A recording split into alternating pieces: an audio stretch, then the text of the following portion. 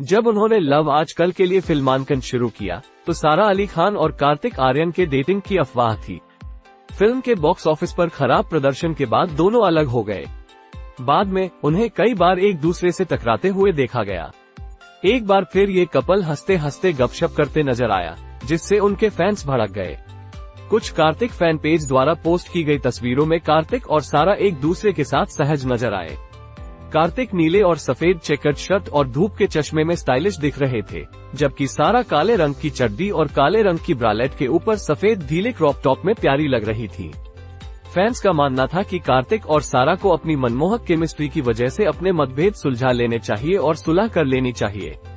Valentine day सप्ताह के दौरान पड़ने वाले प्रस्ताव के दिन, उनकी तस्वीरें ऑनलाइन प्रसारित होने लगी। एक इंस्टाग्राम यूज़र ने लिखा, उन्हें वापस लौट जाना चाहिए क्योंकि वे अभी भी एक दूसरे में दिलचस्पी रखते हैं।